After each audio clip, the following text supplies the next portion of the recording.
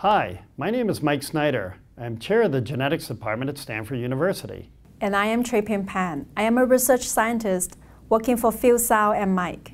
We are here to tell you about the genomics of abdominal aortic aneurysm. Abdominal aortic aneurysm, or AAA for short, is a common disease that affects 10% of the people who are 65 years or older. It is the 10th leading cause of death in Western countries. It is hallmarked by irreversible enlargement of a segment of the aorta.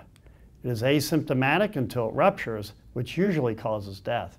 So it's kind of like a ticking time bomb. Because the disease is irreversible, it is important to predict people who are at high risk for AAA and detect the disease early. The disease has a strong genetic component, but so far, very few genes that are involved have been identified using traditional approaches. We use a genome sequencing and machine learning approach to find genes involved in AAA and get at the underlying genetic cause of this disease. We sequence the genomes of 268 cases along with 133 controls and then let computer algorithms and machine learning find which genes are overly mutated in cases relative to the controls.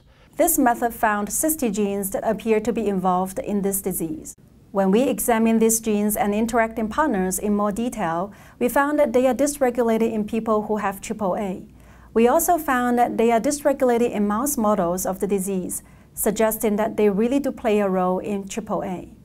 Some of the genes and their interacting partners function in blood vessel development, blood circulation, and aneurysm, so they are really just the sort of genes that you might expect to be involved in this disease. This work has important implications for precision health and precision medicine. We can set up a model to predict who is at high risk for the disease right from a person's genome sequence. So in principle, we can detect people who are at risk right from the moment they are born. We can improve the model further by adding lifestyle and electronic health record information to make it even more accurate. In fact, the model is as accurate and even more so than many of the clinical tests in use today. Why is this a big deal? We think it is important because the information is actionable. People at high risk for AAA can do things to lower their risk, such as increasing their HDL.